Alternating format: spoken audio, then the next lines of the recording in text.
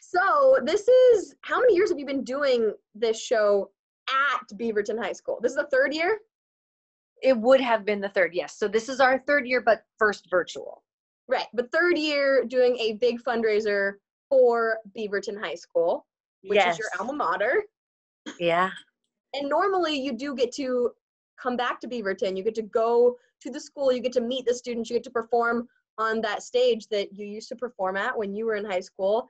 And now, yeah, just as everything else, you gotta pivot, gotta switch it up. So, what's happening this year? Well, this year I actually really was looking forward to coming home and spending like a good week there um, because I think what has morphed over the years and what has more become the focus, not just the fundraising and not just the raising of awareness of, of how important the arts are and how much they're suffering, but more than that, it's become this interaction with the kids. It's become working alongside them, you know, me- mentoring them where I can, coaching them where I can, working with them on the material. And and as such, I thought, well, this year I'm just going to block off a whole week. I'm going to come home. I'm, I'm going to bring some amazing professional friends, and we're going to actually work on the concert. Usually I come in and it's like a fast and furious 48 hours. But what I'm realizing is like it's the experience of being together and and collaborating on and teaching them how a show goes up and what goes into it. And and I thought, you know, as from here forward, as we continue with these annual concerts, I want that to be the focus. Is this ability to learn from the professionals and work hand hand in hand, um, side by side for for the week leading up. So that was the disappointing part for me and i know for them so i was like you know let's just find a way to still make it happen. It's obviously not going to be the same but in some ways i think it's going to be cooler. And what one of those ways was like you know i didn't abandon the idea of working with them so i did one-on-one skype sessions with all of my soloists um you know spent like an hour and or more with with each of them and just talked to them about the material and and help them dial in more personal connections to it fine tune some vocal challenges and um, so that's really cool. We wouldn't have had that kind of one-on-one time. Um, and and the other cool part is like there's going to be way more eyeballs on this than would have been uh, just in the 500 600 seat house. So that's cool for for them and and also just for our ability to it's not just um, the raising of funds for Beaverton, it's it's also like I think that putting out this virtual content during this time is a give back as well. Like for people at home, I think it's such a gift. And when they see, I I I am editing this all together. When they see, um, it's just a it's a beautiful, barely an hour, barely an hour, but it's just a beautiful combination of, of people and material and it's it's going to be really really special and it's going up on your youtube channel yeah.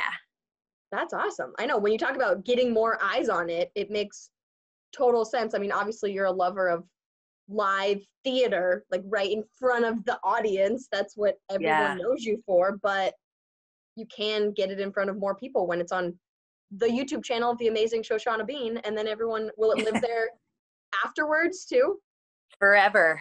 And so is it live or you said you're editing it? So it's all it's a, it's essentially a virtual concert. Everything is being pre-recorded, and then everything is being edited, edited, edited together like a virtual concert, and then it will live stream in real time on on Monday. Cool. And are you actually editing it? What? Yeah, I have a little bit of help with the bigger numbers, but yeah, I just, I you know, I just I have a vision for it, and so I, I just I'm just doing it all myself. Yeah. yeah. You know how you want it to look and Yep. Yeah. I guess you have time to do it, but it seems like you've been really I mean, yes and no. yes and no. Necessity is the mother of invention. You know what I mean? I want it to be great. I want it to be special. I've watched enough of these and participated in enough of these to know like what works, what doesn't work. Um, and for me, I want it to be as equally pleasing to the ears as it is to the eyes as it is to the heart. I want every i want it to play to all of the senses and and and i feel like it it's since that's my vision i feel like you know this is my downfall. I'm i'm really bad at at delegating. You know i'm just looking at it as like a fun project. I try really hard not to take things on unless it's gonna if unless i'm gonna be like this is an adventure. So yeah everyone recorded at home uh uploaded the files to the dropbox you know it's like it's a it's a whole system where like you know they basically record a cappella. They have the track being pumped through their ear and then they just sing a cappella into their phone. So the cool thing about that is um you know they get multiple tries at it. I'm like you guys take after take until you get the take you want or some of them would send me a take and i'm like no you can do better than this. Is this the are you? i think you can do better. How do you feel about this take? Yeah i guess you're right you know. So the cool thing is is we get multiple opportunities to be our best and we learn something about ourselves every time we record and watch it back. I am with them. I'm having the same experience of like huh interesting shoshana maybe we can fine tune that a bit. And and the other thing is like you know we miss the magic of like you said the live performance and the give and the take with the audience but um, there's something a little bit magical too about these kids being alone in a room recording it where that fear of judgment and that fear of who's watching is eliminated. There's a mystery to that so they're able to be a little more fearless than they might be on stage so um you know there's there's some real positives to this as well. Well and how cool for the kids that they now will have essentially a reel of of them performing instead of performing on stage which is amazing and you get that feeling right there and then it's gone this as they're applying to colleges or just doing you know starting their own youtube channels or whatever they have this reel of of their best stuff because you're making sure it's their best take. Well that's what i said to them. I'm like this isn't going anywhere. Like you give me this take it goes into the movie the concert and it lives on youtube forever. So you decide how you what you want if you want to look back on this and be like that's where I was at, but man, I was brave, or man, I tried something new, or like I was way out of my comfort zone, but I'm proud of what I did.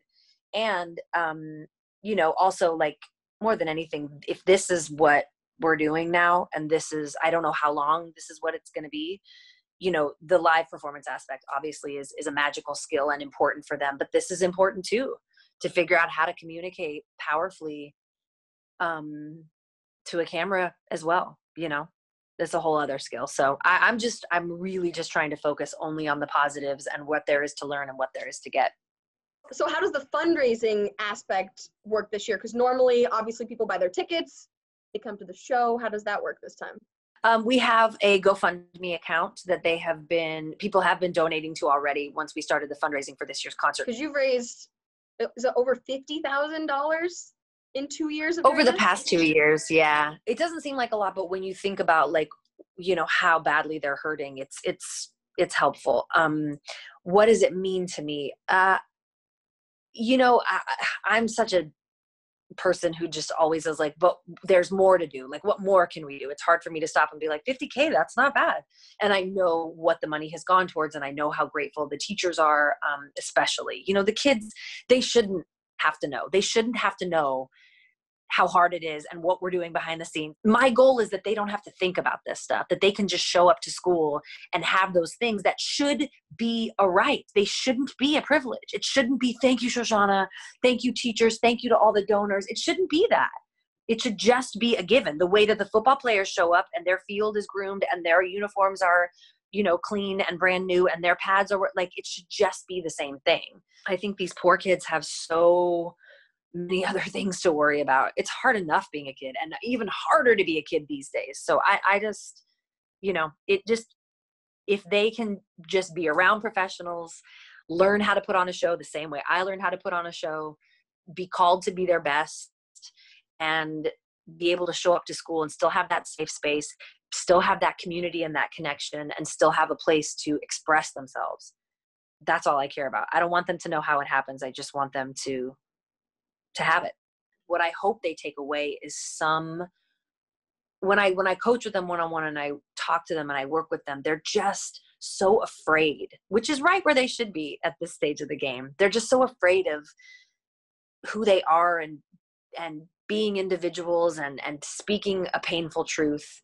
And so I just hope that this has made them just that much braver, just that much more comfortable in their own skin, that much more confident, um, to believe in themselves that much more. That's what I hope they take away. You don't want to give away too many things, obviously, but any hints as to what what kind of songs we get to hear or what kind of music will be in the show? I, I think I've done a good job of of choosing some like classics that everyone knows and loves but I really, you know, their kids and this is their generation of musical theater is different than, you know, the very classic um, era. So it's a lot of, of, of contemporary musical theater. So that's more pop, you know, um, stuff from Dear Evan Hansen and Waitress and, and, um, and Wicked. So there's more, there's more poppy musical theater happening in this. There are, there are a couple, um, classic things in there, but it's largely a it's largely a pop show. Yeah, what are you hoping everyone that gets to see this takes away from this?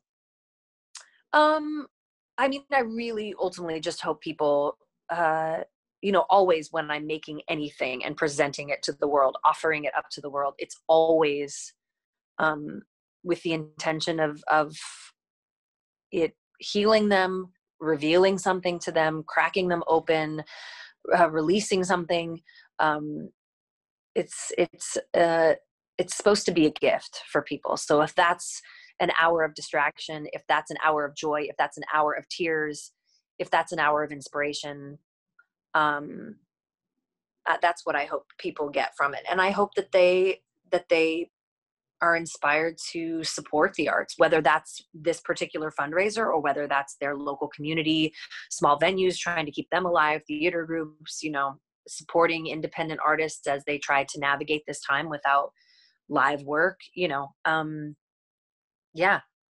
Because that's really the focus of this concert anyway and this virtual event and all the people that have come together to make this happen is is what i know about my artistic community is that we show up for each other we are a community and that is from the broadway community to the outreach to the to the um, regional communities to educational communities like it's we are connected through our art and and so it's really just a extending a hand through the screen and just being like we're we're in this together we're a community so here's some beautiful music. Enjoy.